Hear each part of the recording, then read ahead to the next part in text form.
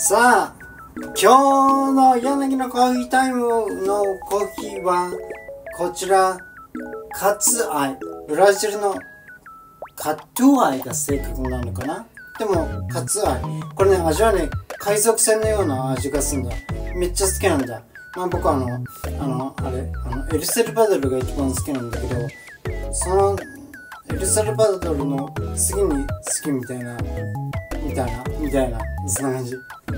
カットバイです。で、これを点で、点で、あセンタードリップシーンの、それで、時間置きの、で、あの、あれ、あの、ライン方式シーンの、時間置きの、そんで、あの、ナルト方式シーンの、サイクロン方式っつうの？うん。で、美味しいコーヒーの出来上がりですバイ